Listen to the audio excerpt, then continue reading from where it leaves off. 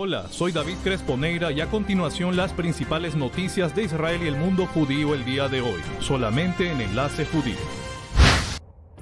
Es lunes 4 de septiembre. El presidente Itzhak Herzog reveló que hay nuevas negociaciones indirectas entre el gobierno y la oposición para tratar de llegar a un acuerdo sobre la reforma judicial, aunque por el momento no se ha llegado a un consenso. Según el Canal 12, la propuesta que contaría con la simpatía de Benjamin Netanyahu plantea legislar de nuevo de manera más moderada la cuestión del principio de razonabilidad, no cambiar la composición del comité de selección judicial que los jueces sean aprobados por siete de los nueve integrantes del comité y suspender por 18 meses cualquier cambio al Poder Judicial.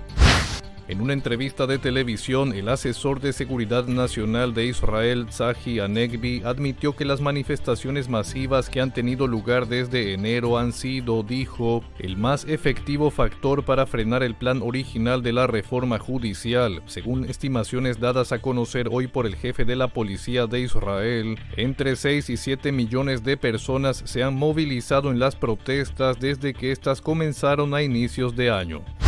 Ante la Corte Suprema de Justicia, la fiscal general Gali Baharav Miara insistió al ministro de Justicia Yariv Levin que desista de su negativa y convoque lo más pronto posible al Comité de Selección Judicial a fin de designar a los jueces que deben cubrir vacantes en tribunales del país. La situación ha puesto de nuevo a la fiscal general en contra de una de las líneas del gobierno de Netanyahu.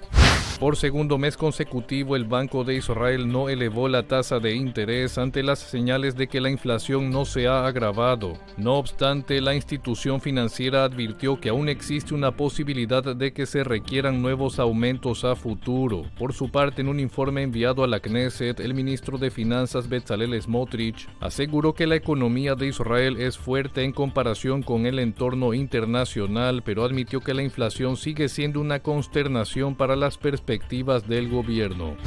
Desde Nicosia, junto a sus homólogos de Chipre y Grecia, Netanyahu aseguró que Israel está cerca de finalizar los planes para poder exportar gas natural hacia Europa, señalando que una decisión al respecto podría tomar lugar dentro de los próximos tres a seis meses.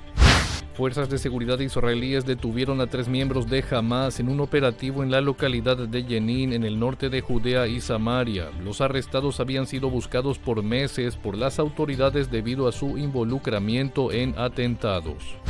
Autoridades de Israel frustraron un intento de contrabando de varios kilos de material para explosivos por parte de palestinos desde la franja de Gaza hacia Judea y Samaria. Los materiales fueron hallados ocultos en un cargamento de ropa que salía de Gaza. Seis israelíes fueron detenidos en Chipre bajo sospecha de violar a una mujer británica de 20 años en un hotel en la región de Ayanapa. La Cancillería israelí ha tomado cartas en el asunto y ha entrado en contacto con los familiares de los acusados. Y estas fueron las principales noticias de Israel y el mundo judío el día de hoy, solamente en Enlace Judío.